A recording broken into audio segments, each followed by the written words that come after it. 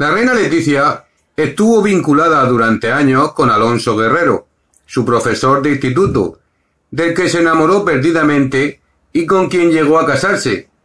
Casa Real no quería que la entonces periodista se casase con Felipe. Era plebeya, divorciada, de padres separados y presentadora de informativos.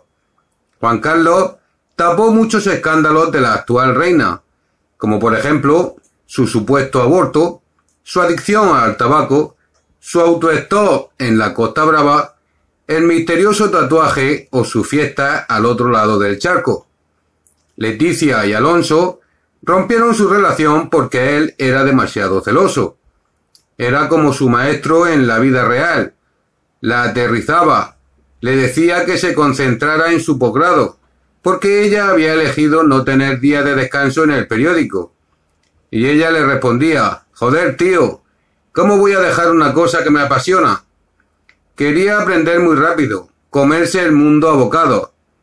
Tras su ruptura, Leticia y Alonso Guerrero continuaron viéndose.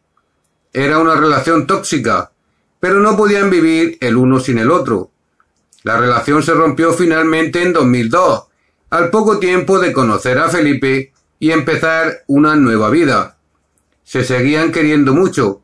Era una de esas relaciones destructivas, pero con sus buenos momentos.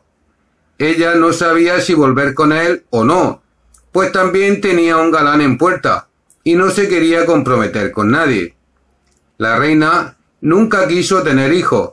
La maternidad era algo que le asustaba porque la ataba, pero sus planes cambiaron cuando se convirtió en princesa de Asturias.